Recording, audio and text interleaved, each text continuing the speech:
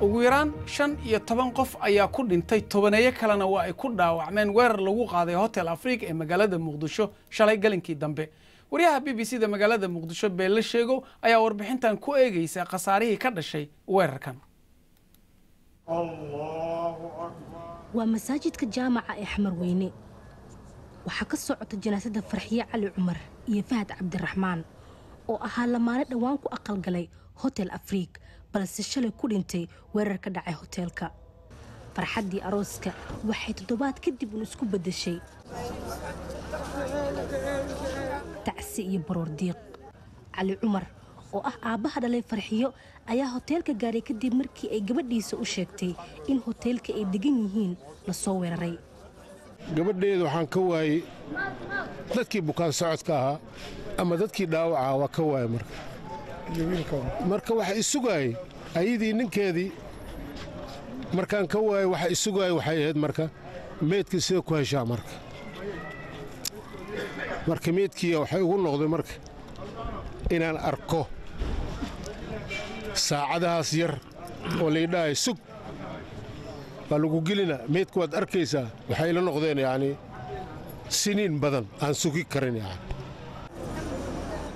inkastoo ay geeridu wada xanuun badan tahay. Haddana tan shalay ku timid fahad iyo farxiyo waxay xanuun gaar ah iyo hadalhayn weyn ku dhex abuurtay bulshada soomaaliyeed. Weerarka hotel afriik oo ku bilaabmay qarax weyn oo ay ku xigtay inay afar nin oo dabley ah oo hubaysan oo dhammaantood al-shabaab ka mid ahaa ay gudaha hoteelka u galeen. Cid kasta oo ka soo horbaxdaa bartilmaameed ayay u ahayd dagaal culus oo qaatay sagaal saacadood. Kadib ayay dowladda xalay abbaaro kowdii habeenimo ku guulaysteen inay soo abjaraan weerarka oo khasaaro ballaaran geystay. Dhimasho ilaa sagaal qof ah iyo dhaawac ilaa tobaneeyo qof ah oo dhammaantood goobta wax ku wada gaareen waxaan leenahay innaa lilaahi wa innaa ilayhi raajicuun. Intii ku dhimatana allah u naxariisto intii ku dhaawacantayna ilaahay ha boogadhayo inta dhimashada ah waxay isugu jiraan afar argaxisadii ka mid ah kii gaariga kowda hore isugu qarxiyey iyo saddex kadib nadiifinta iyo afjarka howlgalkaas ay ciidanku ku soo afjareen iyo shan qof oo ka mid ah dadkii shacabka ahaa oo hoteelka ku agdhowa kani wuxuu ka mid ahaa weeraradii ugu xumaa ee dhowaanahan ay al-shabaab ku geysteen magaalada muqdisho. Iyadoo tan iyo bilowgii sanadkan dhowr mar ay weeraro ku bartilmaameedsadeen mas'uuliyiin ka tirsan dowladda iyo goobaha ay shacabka isugu yimaadaan.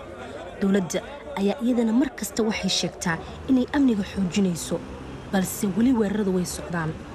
Jigaboontiyada ay ku dhiban yihiin in shacabka ay maraan qaraxyada ayaa mararka qaar gudba. Su'aasha ay isweydiinayaan shacabka magaalada muqdisho ayaa hadda ah ilaa goormo ayay xaaladdan sii socon doontaa. Beelasheego b b c muqdisho. Haddaba weerarkii shalay dadkii ku dhintay waxaa ka mid ahaa allah u naxariisto genaraal maxamed nuur galaal wuxuuna ka mid ahaa saraakiishii ugu sarreysay militariga soomaaliya kontonkii sane u dambeeyey.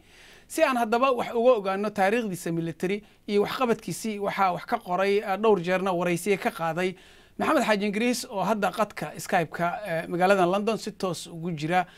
Maxamed allah u naxariisto generaalka dhowr jeerna waad la kulantay wax badanna waad weydiisay. Marka goormuu dhashay haddii aad taariikhdiisii markuu dhashay iyo halkuu ku dhashay noo soo koobto?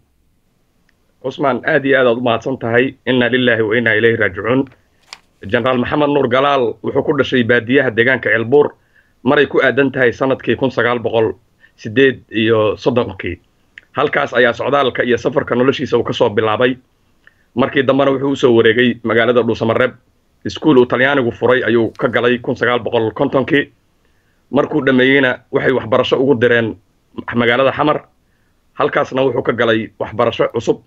Isagoo markii dambe halkaa uga sii gudbay collegio ferrare oo ah kuliyad military oo talyaanigu xamar ku lahaa oo lagu xanaanan jiray ardayda soomaalida.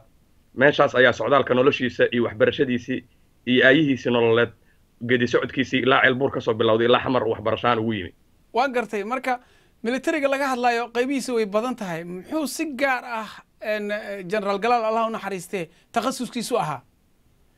Cusmaan intaan military noqon jenaraal galaal wuxuu ka bilaabay oo kun sagaal boqol konton iyo toddobadii si qasaba loogu qaatay ciidanka booliska soomaaliyeed oo loo raadinayay dad dhallinyaro ah oo waxbarasho iyo tacliin leh dadkii loo xushay ee laga maarmi kari waayey ee kuliyadda college ferrara dhameeyey ee la qaatay ayuu galay. Wuxuu noqday policeman.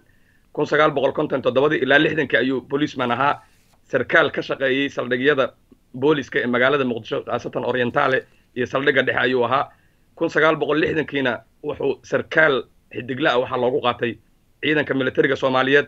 Wuxuu ahaa sarkaalka sare ee soomaalida keliya ee haystay toddoba sano oo kuliyad military dalka dibaddiisa. Wuxuu si gaara ugu takhasusay istaraatiijiyadda militariga hogaaminta iyo operationka. Wuxuuna wacdaro ka muujiyey uu takhasuskiisu ahaa military intelligence oo ah sirdoonka militariga cadowga sirtiisa oo laga soo warramo. Taasuu guulo badanna kaga muujiyey formihii hore ee dagaalka lixdan iyo afartii iyo toddobaatan iyo toddobadii. Waa tahay maxamed marka adiga aad la kulantay qofka noloshiisa waxyaabo badan uu soo maraa aadaad ula sheekaysatay. Marka wax ma kaaga sheegay noloshiisa waxyaabihii ugu adkaa ama meelihii uu islahaa? Allay lehe halkan inaad saan samaysa ma ahayn. Taarikhdiisa markaad la sheekaysatay.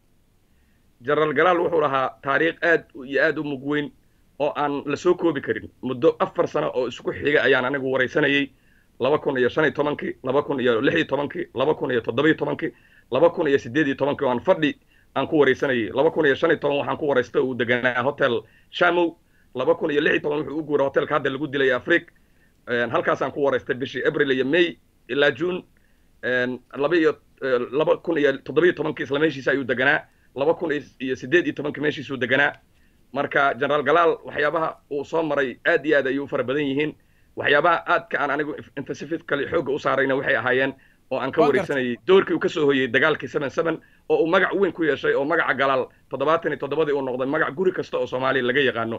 Guulihii uu ka keenay khaasatan furintii ugu adkayd dagaalka ee dir dhabe waan gartay maxamed marka maxaa shaksiyan markaan ka soo tagno aqoontiisa military lagu xusuustaa generaal allahu naxariiste galaal?